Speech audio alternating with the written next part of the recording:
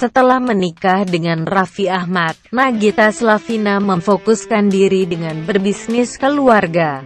Hingga saat ini, Nagita diketahui memiliki cukup banyak bisnis yang tengah dijalankannya bersama keluarga, mulai dari produk makanan, fashion, kosmetik, furniture hingga parfum.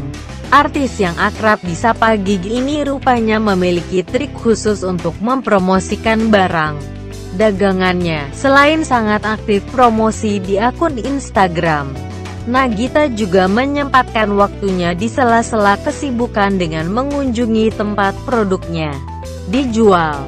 Di sana, Nagita bisa bertemu dengan pembeli secara langsung. Tidak jarang, banyak pembeli yang ingin meminta tanda tangan atau foto bersama.